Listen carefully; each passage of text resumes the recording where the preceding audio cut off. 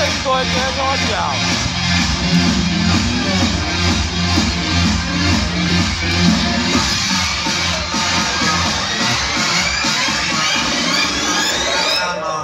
I'm a gentleman.